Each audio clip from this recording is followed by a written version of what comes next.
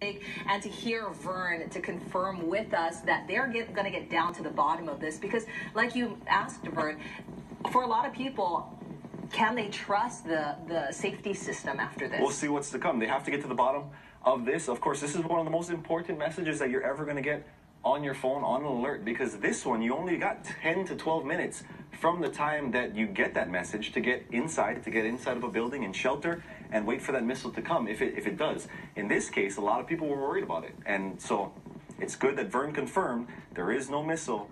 It was an inadvertent alert he's getting to the bottom of it. And and Mika had calls from family and friends who were right. out on the beach this morning. My auntie was at Aldwater Beach Park and said that people were just running from the water, um, which you know, with, I would do the same thing: get inside, take shelter.